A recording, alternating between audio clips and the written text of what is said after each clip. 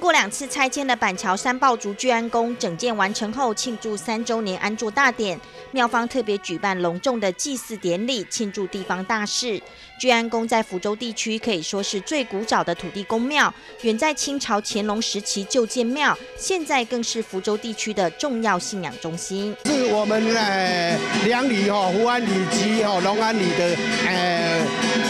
各位哈呃信徒哦，都家都很踊跃参与这个祭典这样，哎啊今天呢是我们哎庙的成立哦三周年庆了。呃，聚安宫有两百年的历史，那我们龙安里以及福安里哈，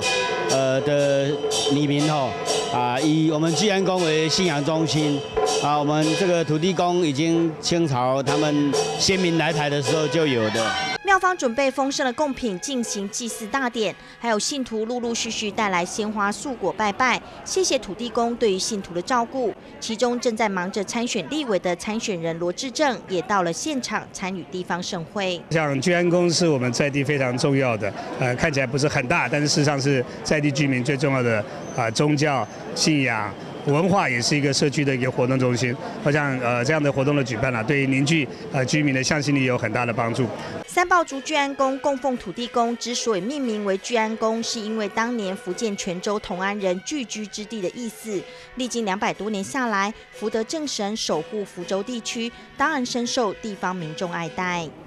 中嘉新闻林立如范刚仪板桥报道。